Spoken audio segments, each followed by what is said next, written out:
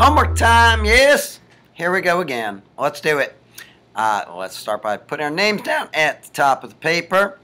I'll put my name and you go ahead and put yours.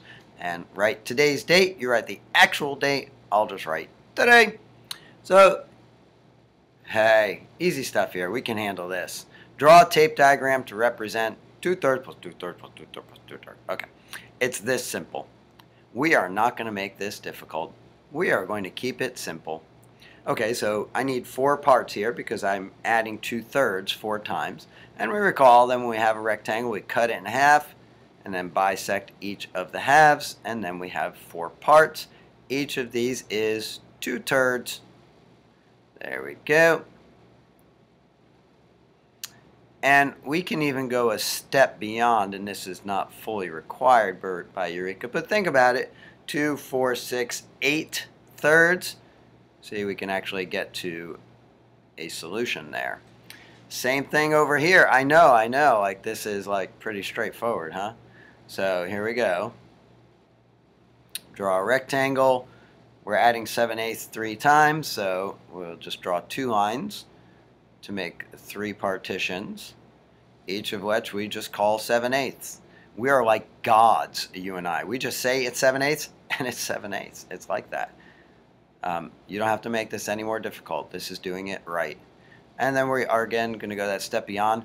Boy, my brackets are not up to snuff today, but hey, we're going to let stand. 7, 14, 21, and these are all eighths, so we have 21 eighths in all.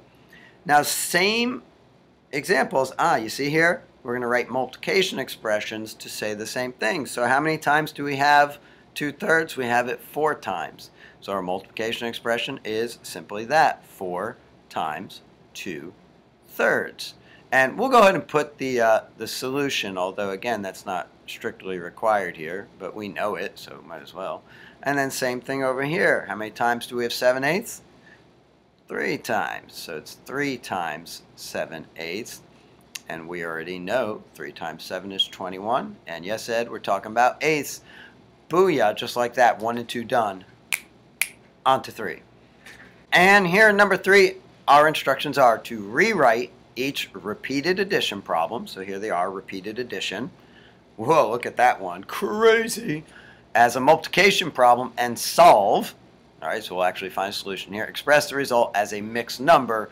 So the idea is we'll end up with an improper fraction, and we'll then we'll convert that to mixed number. The first one's been completed. And if you look at it, there's the repeated addition you make it multiplication, you say, hey, we can also write the multiplication this way. You get your improper fraction, convert it to a mixed number, done. So let's do B. How many times do we have 7 tenths here? We have it 3 times. So 3 times we have 7 tenths. And we can rewrite it like this to make it clear what we're doing. Um, and you will see this written both ways, so you need to be familiar that this is the same thing as this. Um, so what is that now?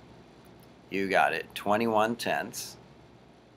And now to convert it to a mixed number, one way is to remember that uh, fractions express division. So 21 divided by 10. Well, 10, 20. Okay, so there are two tens in 21 and that leaves one tenth. So two and one tenth. And we've already done a lot on that, so I'm not going to explain that any further. Go back if you need to. How many times do we have 5 twelfths here? One, two, three, four, five, six times. So we have 6 times 5 twelfths. Which, to make clear that we do things correctly, you know, hey, it's 6 times 5, and yes, Ed, we talking about twelfths. So how many twelfths do we have now? 6 times 5, you know that, is 30. And we're still talking about twelfths. So how many 12s are there in 30? Well, 12, 24, 36, uh, that's too many. Okay, so 12, 24. So there are two 12s in 30. Okay, if you do 30 minus 24, how many 12s do you have left? 30 minus 24 is 6 and we're talking about twelfths. And I bet a lot of you, when you see 6 twelfths, you say, oh, that's equal to 1 half. You got those equivalent fractions. Oh my goodness gracious, what is wrong with these people? 1, 2, 3, 4, 5, 6, 7, 8, 9, 10, 11, and 12. At least they didn't make us write all that mess. All right, 12 times 3 eighths. And we can rewrite this, of course, as 12 times 3. Ooh, make that look like a 3. Over 8. Over easy. And 12 times 3 we actually just did before, right? Uh, 12, 24, 36. So it's 36 eighths. Now to convert that to a mixed number, let's skip count by eighths. 8, 16, 24, 32. Okay, so we can go up to 32. That's 4 eighths. So there are 4 eighths in 36. 36 minus 32 leaves 4. And yes, Ed, we still talking about eighths. And you were probably so keen you noticed right off that that would be equal to 4 and 1 half as well. On to the next one. All right, and number four, we just have a bunch of practice to do of doing this multiplication. We get to solve using any method, but make sure we're not going to leave them as improper fractions. We'll express them either as whole numbers. So for example, if you have like 18 thirds, that's 6 with no fraction, 6, right? Or mixed numbers, say like 6 and 1 sixth. Okay, so let's go ahead and dive right in. Now, only on this first one am I going to do this interim step just so you could see it. I don't personally feel that it's really necessary, but to write it out as hey, this is 7 times 2, and yes, Ed, we talking about ninths. Um, I don't know. I, I don't really see that as a necessary step there. But so I'll just do it on this first one and uh, leave it, omit it on the rest. Okay, so that's 14 ninths. Now to express this as a whole or mixed number, well, how many nines in 14? Well, there's just one, right? And 14 minus that 9 leaves how many ninths? 14 minus 9 is 5, so there are 5 ninths remaining. And again, I'm not over explaining how to do that because that's from a previous lesson. And so, as promised in this one, instead of rewriting it in this format, we can just say, hey, it's 11 times 2 is 22. And yes, Ed, we're talking about thirds. So how many threes in 22? Well, you probably jump right out of your seat saying, oh, I know 7 times 3 is 21, right? So 7 times 3 is 21. How many thirds does that leave? Just one third. That's the 22nd third. So 7 and 1 third. We have a little more practice to do here on number 4. Let's move right on to that. And I like to think that they're uh, giving us the opportunity to see here that, look, even when the numbers are bigger nothing changes. We're doing the same process here. So in this one, 40 times 2, ah, you know that, right? 80, right. And yes, Ed, we're talking about 6. So now this is the only part you might have to do a little extra thinking on is how many 6's are there in 80? Well, one way to do this, as I've often said, is to remember that fractions express division. So you could come over here and say, okay, well, how many 6's in 8? There's 1. Remember long division? Gosh, it's been a while. And so you subtract that 6, and that leaves 2. And I'm just cruising through this, bring down the 0. How many 6s in 20? There are 3, yes, because 3 times 6 is 18. And you subtract now that 2 you get as a remainder, because that's how we do long division in fourth grade. That's going to be the numerator of your fraction. That's what's left over. So basically what this is saying, and I'll write it out here so you could see, is, hey, 13 times 6 is 78. And 80 minus 78 is 2. So what that means is, well, how many 6s are there in 80? There are 13. And that would be 13 times 6 is 78, which leaves 2 more 6. Okay. Now I'm not going to do this out on every one. I'm just showing you this is the thought process behind this conversion. So you can see every little step of it. Um, this is an interesting one. So 24 times 5. Well, uh, there's a couple ways you can do this. Um, let's just multiply 24 times 5. You could double up and say, oh, I know it's 48 and 48 and another 24. There are various ways to go about this, but we'll just write out the multiplication. Uh, 5 times 4 is 20. Regroup that 2, place the 0. Whoop. 5 times 2 is 10 plus 2. Wow, remember that? It's been a while.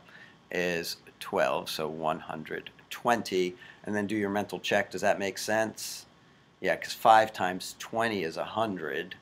5 times 25 would be 125. 5 less is 120. Okay, everything makes sense.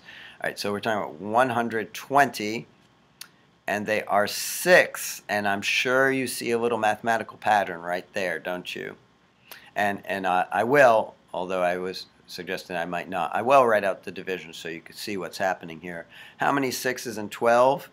Well, there are 2 because 2 times 6 is 12. You subtract, you get 0, blah, blah, blah. Okay, and so 0. Ah, so 6 times 20 is 120. So 126. How many 6s are there in 120?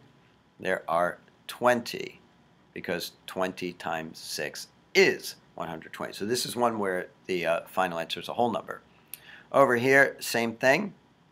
23 times 3. You may not need to in this case because there's no regrouping, but I'll just write the multiplication so you could see it. 3 times 3 is 9. 3 times 2 is 6. So we have 69 fifths. And because it's fifths and skip counting by fives is easy, we can do this we could actually start from 50 because we know that 10 times 5 is 50. But I'll start all the way from, from 0. Okay, so 5, 10, 15, 20, 25, 30, 35, 40, 45, 50, 55, 60, 65. Okay, so again, it is 13. And that would bring us to 65. So how many fifths are left out of the 69? 69 minus 65 yes, is 4 fifths that are left over. And a simple check is to say, hey, 5 times 13 is 65, plus 4 is 69, and yes, Ed, we still talking about fifths. All right, and then lastly here on F, I bet you can double this number in your head because there's no regrouping. 34 times 2, well, 4 doubled is 8, 3 doubled is 6, 6, 8, 68 and we're talking about eighths. And you probably know your eighths well enough to know that 8 times 8 is 64. There we go. So 8 times 8 is 64. 68 minus 64 leaves how many eighths? Yes, 4 eighths. And I believe you're getting astute enough that you see 4 eighths and say, hey, that's an equivalent to 1 half. So we just have 5, 6, 7 left to do, which we'll do all at once. Roll them. And fear not, my faithful friends. Yes, we have three word problems to do here, but you will find these exceptionally easy. And it does not specify to do the read, draw, write.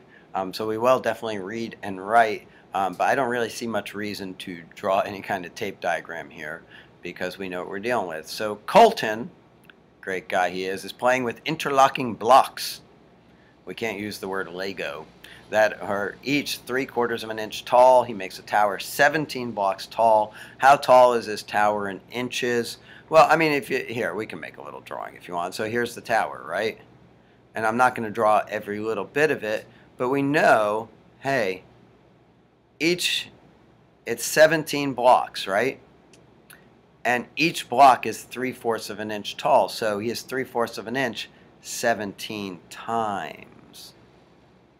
Okay, so right there we can see, there's our drawing, there's the tower. That's it. Kind of looks like a, never mind. All right, so uh, 17 times 3, that's probably not one you know off the top of your head, so let's do it over here. 17 times 3. Well, 3 times 7 is 21. 3 times 1 is 3, plus 2 is 5, 51. That makes sense. So we have 51 fourths. All right, great. Well, that's lovely, but we know that's not very useful to say it's 51 fourths inches. Um, so what we need to do is divide uh, 51 by 4. Well, we know that we can jump right to 10, right? And then continue on with 11 because 10 times 4 is 40. So from 11, 44, what we do again? 44, 48, and next would be 52. Okay, so there are 12 fours and 51 because 12 times 4 is 48. We see that? subtract 51 minus 48 to figure out how many fourths we have left? Yes, there are three fourths left. Um, and if that little doing it in our head process confused you, you could write, write out the division for uh, 51 divided by 4. And remember, your remainder will be the numerator of your fraction here. So uh, we just need a little statement. His tower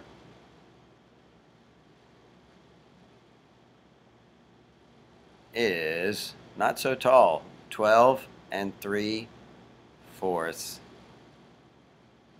inches tall. Nice job, Colin. There were 11 players on Mr. Majorani's softball team. They each ate 3 eighths of a pizza. How many pizzas did they eat? Okay, um, so we, we have 11 players, each eating 3 eighths. So we can see we could add 3 eighths 11 times, but that would be confusing and wasteful. So we can use our happy friend multiplication here. And here the multiplication is pretty easy. 11 times 3? Yeah, 33. And yes, Ed, we're talking about eighths. So we can divide here to turn this into a mixed number. 8, 16, 24. What comes next? 32. Okay, so there are 4 eighths and 33 because 4 times 8 is 32, which leaves, yes, 1 eighth. And of course, ask yourself, does that make sense? Yeah, okay. oh, we need a statement here, right, right. They ate 4 and 1 eighth, make that fraction bar a little better, pizzas. A bricklayer places 12 bricks end to end along the entire outside length of a shed's wall. Each brick is 3 fourths of a foot long. How many feet long is that wall of the shed? And I guess this is end to end means no space in between. So it's pretty straightforward at this point, right? 12 bricks, 3 fourths of a foot long. So it is 12 times 3 fourths. We can see that. And we did 12 times 3 at least twice before, just in this homework. 12 times 3 is 36. And we're talking about fourths. And remember, these are feet we're talking about. These are not inches, feet. How many feet long? So uh, how many fours in 36? Well, you knowing the multiplication fact so well is useful because you know that 4 times what is 36? Yes, 4 times 9. So 4 times 9 is 36, and we're talking about feet. The wall is 9 feet long. I'm going to put an exclamation point because I'm so excited because we've done it. We completed yet another homework time. Rock on, my brothers, my sisters. I will see you again next time. It is once again homework time.